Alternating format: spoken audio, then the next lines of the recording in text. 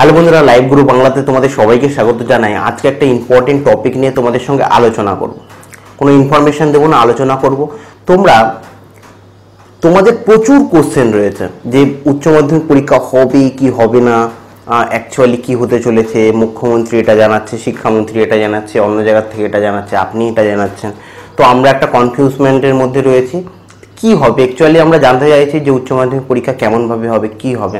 এবং তোমাদের প্রত্যেকটা স্টুডেন্টের প্রচুর চিন্তা রয়েছে এই বিষয়ে, যে অ্যাকচুয়ালি সত্যি কি উচ্চ মাধ্যমিক পরীক্ষা হবে? এটা তোমাদের না, আমারও একটা চিন্তার বিষয় বা তোমাদেরকে আমি সঠিক ইনফরমেশন দেওয়ার চেষ্টা করি এবং তোমরা তোমাদের যে ফিল্ড তোমাদের যে ফিল্ড রয়েছে সেটা কমেন্টের মাধ্যমে কিন্তু আমি বুঝতে পারি। অনেকে অনেকে, একজন এটাও একটা স্টুডেন্ট এটাও কমেন্ট করেছে যে আমি আমার বাড়িতে একজনের কোভিড নাইন্টিন ধরা পড়েছে, সেই কারণে আমার আমি কোয়ারেন্টাইনে চলে যাচ্ছি।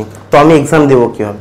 এরকম প্রচুর প্রবলেমের ফেস করছ এই কোভিড নাইন্টিনের জন্য তোমরা এবং সরকারও সেই হিসাবে ফেস করছে। আর এটা মনে রাখো, আমি তোমাদের প্রত্যেকের কমেন্ট পড়ি এবং প্রত্যেকের প্রবলেম রয়েছে, আর যেটা বেশিরভাগ প্রবলেম রয়েছে যে উচ্চ মাধ্যমিক পরীক্ষা হবে কি হবে না এই নিয়ে। কেন আমি বলি তোমাদের? দেখো, এখানে মুখ্যমন্ত্রী বলছে যে যে সেন্টারগুলোতে নেওয়া হবে, সেই সেন্টারগুলো ভালো করে স্যানিটাইজ করা হচ্ছে, পরীক্ষা নেওয়া হবে। এবার যদি আমি শিক্ষামন্ত্রীর কথা বলি, শিক্ষামন্ত্রী বলছে যে আমাদের যে সর্বভারতীয় বোর্ড রয়েছে সিবিএসসি বোর্ড যা করবে, সেই অনুযায়ী আমাদের পরীক্ষা নেওয়া হবে বা কীভাবে পরীক্ষা নেওয়া হবে সেটা নির্ভর করছে। এবং তারপরে আরও যদি আমি বলি যে বিভিন্ন যে নিউজ পোর্টালগুলো বড় বড় নিউজ পোর্টাল সেগুলোও কিন্তু এখনও বলছে সিবিএসসি বোর্ডের উপর নির্ভর করে রয়েছে সব কিছু এমন এক্স্যাক্টলি মুখ্যমন্ত্রী বলার পরও কিন্তু বহুত এরকম বাংলা নিউজ পোর্টাল রয়েছে, যেমন এবিপি আনন্দ, তুমি গিয়ে দেখতে পারো, ওখানেও কিন্তু এখনও পর্যন্ত বলা হচ্ছে যে উচ্চ মাধ্যমিক পরীক্ষা হবে কি হবে না। তো এখনও কিন্তু সুনির্দিষ্ট কোনো নেই। এরপর, এরপরে যদি বলি, হিন্দি ওয়েবসাইটগুলো, বড় বড় যে টাইমস অফ ইন্ডিয়া এবং হিন্দি লাইভস আই থিঙ্ক এরকম বড় বড় যে ওয়েবসাইটগুলো রয়েছে, সেই ওয়েবসাইটগুলোতে কিন্তু এক একটা ওয়েবসাইট এক এক রকম বলছে। কোনো ওয়েবসাইট বলছে যে নাইনটি নাইন পার্সেন্ট চান্স রয়েছে পরীক্ষা না হওয়ার, এমনকি হিন্দি লাইভস বলে। মানে একটা নিউজ লিক হয়েছে যেখানে বলা হচ্ছে যে সিবিএসসি এক্সাম নেবে। তো এখন এটা বলা যেতে পারে না। বিভিন্ন ওয়েবসাইট এবং বিভিন্ন নিউজ চ্যানেল এবং বিভিন্ন জায়গার থেকে বিভিন্ন রকম অ্যান্সার আসছে। এমন তোমরা যে ইউটিউবে দেখছ একজন কিছু কিছু ইউটিউবার তো মানে একটা যে কোনো একটা নিউজ পেল, সেটার উপর ভিত্তি করে বানিয়ে দিল। কোনো একটা কিছু না যে প্রত্যেকটা অ্যানালাইজ করল না যে কি হয়েছে, না হয়েছে। আনলো তুরন্ত, সঙ্গে সঙ্গে, যখনই নিউজ আসলো, সেই নিউজটাকে স্ক্রিনশট মেটে ছবি তুলে ব্যাস দিয়ে দিল। কিন্তু অ্যাকচুয়ালি জিনিসটা রিসার্চ করছে না। তো এখন আমাদের কাছে দুটো বড় অপশান রয়েছে, এক কি? এক রয়েছে সিবিএসসি সিবিএসসি বোর্ড সুপ্রিম কোর্টের কাছে কি প্রস্তাব রাখে আর সুপ্রিম কোর্ট তার ভিত্তিতে কি রায় দেয়?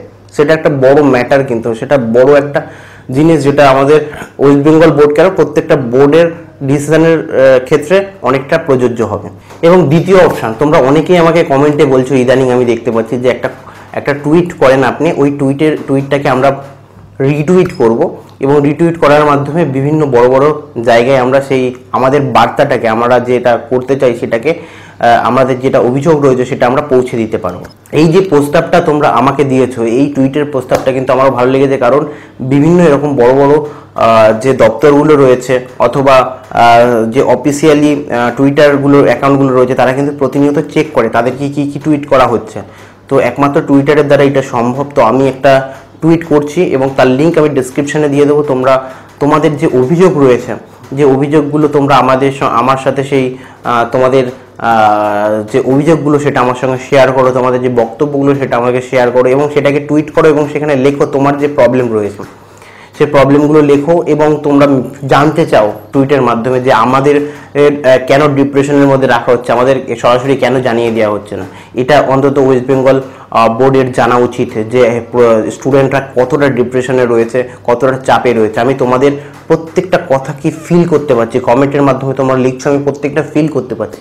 কিন্তু এখানে আমি বলে রাখি তোমাদের এটাই হচ্ছে বেস্ট প্রসেস তোমাদের প্রেসারাইজ করা ওয়েস্ট বেঙ্গল বোর্ডকে তোমরা প্রেসারাইজ করো, জানি না সিবিএসসি বোর্ড কী রায় দেবে, কিন্তু তোমরা তোমাদের মতবাদ টুইটের মাধ্যমে দিতে থাকো। আর একটা জিনিস তোমরা মাথায় রাখো, আমি সর্বদা তোমাদের সঙ্গে ছিলাম, আছি এবং থাকব।